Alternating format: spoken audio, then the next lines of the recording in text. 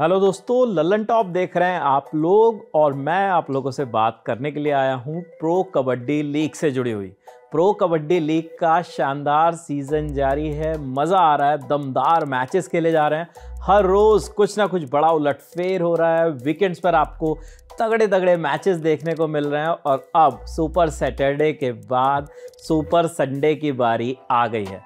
यानी super Sunday के दिन एक बार फिर से आप लोगों को बहुत सारे इंटरेस्टिंग मैचेस देखने को मिलेंगे। सुपर संडे में एक ऐसी टीम भी मुकाबला खेलने उतरने वाली है आज, जो बीते दिन उतरी और उसका हाल बेहाल हो गया। इसके अलावा ऐसी टीमें भी हैं, जो जीत के साथ अपनी दावेदारी को मज़बूत करना चाहती हैं।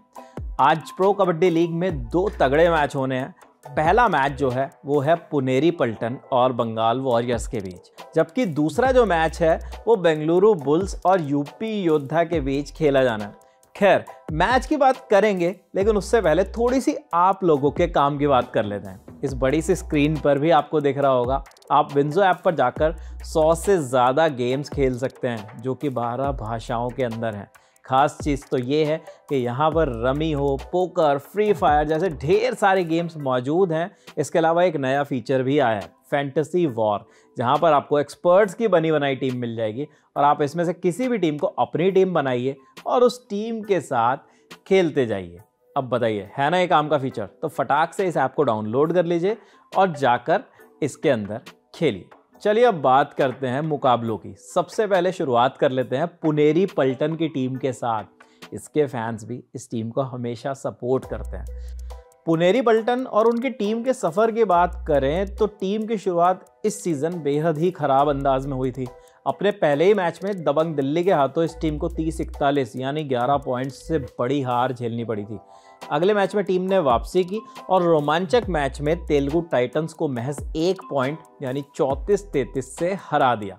उसके बाद टीम ने मोमेंटम खोया और एक के बाद एक तीन लगातार मैच गवा दी। पहले पटना पायरेट से उन्हें अड़तीस छब्बीस से हारना पड़ा, फिर तमिल थलाईवाज ने छत्तीस छब्बीस से हराया और उसके बाद पवन सहरावत की बेंगलुरु बुल्स ने इस टीम को चालीस उनतीस से पटकनी दे दी। इसके बाद आया वो मैच जिसमें पल्टन ने सबको चौंका दिया। प्रो कबड्डी लीग की मज़बूत डिफेंस वाली टीम मानी जाने वाली गुजरात जायंट्स को पुनेरी पल्टन ने तैतीस छब्बीस से मात दे दी। टीम के रेडर मोहित गोयत और ऑलराउंडर असलम इनामदार ने शानदार प्रदर्शन करके दिखाया। गोयत ने सुपर टेन लगाया, जबकि इनामदार ने मैच में आठ पॉइंट कमाए। लेकिन अगले ही मैच में जयपुर पिंक पैंथर्स के हाथों टीम को फिर से हार का सामना करना पड़ा। जयपुर ने इस टीम को इकतीस छब्बीस के अंतर से मात दी थी। कुल मिलाकर बात यह है कि पुनेरी पल्टन ने इस सीज़न में अब तक सात मैच खेले हैं, जिसमें उन्हें दो मैच में जीत मिली और पाँच में हार का सामना करना पड़ा। है पुणे का कोई भी मैच अब तक टाई नहीं हुआ। टीम 11 अंकों के साथ अभी बॉटम थ्री में दिख रही है। पुनेरी पल्टन के बाद अब बात करते हैं उस टीम की जिससे पुनेरी पल्टन की भिड़ंत होगी पिछले सीज़न की चैंपियन बंगाल वॉरियर्स। बंगाल ने इस सीज़न की शुरुआत उसी नोट पर की, जिस नोट पर उन्होंने पिछले सीज़न छोड़ा था। पहले ही मैच में प्रदीप नरवाल वाली यूपी योद्धा को 31-28 से शिकस्त दे दी। अगले मैच में भी अच्छा प्रदर्शन किया और गुजरात की टीम को 31-28 से हरा दिया। बैक टू बैक जीत। लेकिन इसके बाद पुणे की तरह बंगाल को भी तीन लगातार हार का सामना करना पड़ा। पहले बेंगलुरु ने एक बेहद कड़े मुकाबले में बंगाल को 36-35 से हराया और उसके बाद दबंग दिल्ली के हाथों टीम को बावन पैंतीस की एक बड़ी हार मिली। टीम ने वापसी की। जयपुर के खिलाफ तीन पॉइंट यानी इकतीस अट्ठाईस से मैच जीत भी लिया, लेकिन इस जीत के बाद भी टीम मोमेंटम हासिल करने में नाकामयाब रही और हरियाणा स्टीलर्स से इकतालीस सैंतीस से मैच हार गई। अब तक बंगाल की टीम इस सीज़न में सात मैच खेल चुकी है, जिनमें तीन मैच में उन्हें जीत मिली और चार मैच में हार का सामना करना पड़ा है। टीम के नाम अब तक कुल सत्रह पॉइंट्स हैं। किन पर होगी नज़र? पहले बात पुनेरी पल्टन की कर लेते हैं। उनके लिए स्टार परफॉर्मर रहे ऑलराउंडर असलम इनामदार। इन्होंने इस सीज़न अब तक सात मैच में बत्तीस रेड पॉइंट्स कमाए इनसे ज़्यादा रेड पॉइंट किसी और रेडर ने इस टीम में नहीं लिए। इसके अलावा इनके नाम 11 टैकल पॉइंट्स भी हैं। डिफेंडिंग के मामले में भी इनामदार तीसरे स्थान पर हैं। इनामदार के अलावा मोहित गोयत ने छः मैच के अंदर इकतीस रेड पॉइंट कमाए हैं और लगातार अच्छा कर रहे हैं। वहीं पंकज मोहित के नाम भी पाँच मैच में बीस अंक है। डिफेंडर्स की बात करें तो विशाल भारद्वाज ने टीम के लिए सबसे अच्छा प्रदर्शन किया उन्होंने अब तक सात मैच में पंद्रह पॉइंट्स अपने नाम किए उनके अलावा अभिनेश नदराजन ने भी छः मैच में तेरह टैकल पॉइंट्स कमाए बंगाल वॉरियर्स की बात करें तो सबसे ज़्यादा निगाहें उनके कप्तान मनिंदर सिंह पर, जो टीम की पहचान बन गए मनिंदर इस सीज़न सात मैच खेलकर छियासी रेट पॉइंट्स कमा चुके हैं। उनके अलावा ऑलराउंडर मोहम्मद नबी बख्श भी शानदार खेल दिखा रहे हैं। नबी बख्श अब तक 32 रेट पॉइंट्स और 13 टैकल पॉइंट्स हासिल कर चुके हैं। टीम के लिए उनसे ज़्यादा टैकल पॉइंट्स किसी ने भी नहीं कमाए। वहीं सुकेश हेगड़े ने भी छः मैच में 22 रेटिंग पॉइंट्स कमाए। अब बात डिफेंस की कर लेते हैं। नबी बख्श के अलावा अबुजार मेगानी और दर्शन ने शानदार प्रदर्शन किया है। दोनों ने सात मैच खेले और बारह बारह अंक अपने नाम किए हैं। इनके अलावा और कोई खिलाड़ी डिफेंस में ज़्यादा खास करता हुआ नहीं दिखता। अब बात दूसरे मुकाबले की।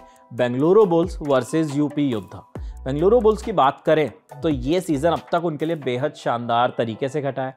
टीम लगातार अच्छा प्रदर्शन कर रही है और इस सीज़न की टॉप टीम्स में से एक साबित हो रही है। कप्तान पवन सहरावत टीम को फ्रंट से लीड करते दिख रहे हैं। हालाँकि टीम की शुरुआत इतने शानदार अंदाज से नहीं हुई थी। टीम को पहले ही मैच में यू मुंबा से 16 अंकों की बड़ी हार झेलनी पड़ी थी। मुंबई की टीम ने वो मैच छियालीस तीस से अपने नाम किया था। लेकिन टीम ने वापसी की और अगले तीनों मैचों में जीत हासिल कर ली। पहले तमिल थलाईवास को अड़तीस तीस से, उसके बाद बंगाल को छत्तीस पैंतीस से और फिर हरियाणा को बयालीस अट्ठाईस से पटकनी दे दी।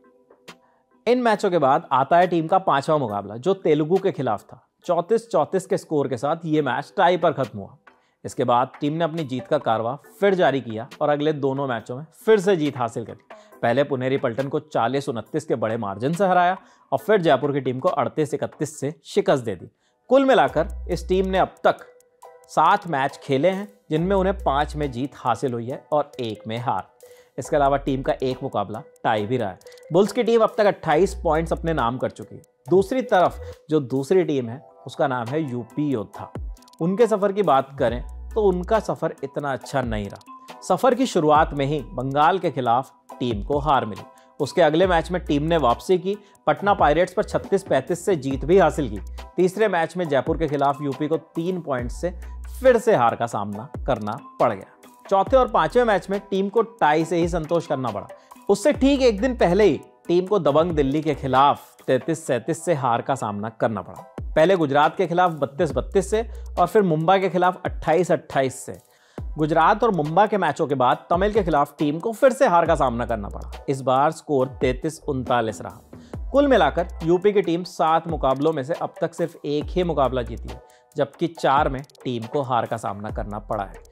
इसके अलावा टीम ने दो टाई मुकाबले भी खेले जिसके बाद उनके नाम इस सीज़न में अब तक पंद्रह पॉइंट्स हो गए।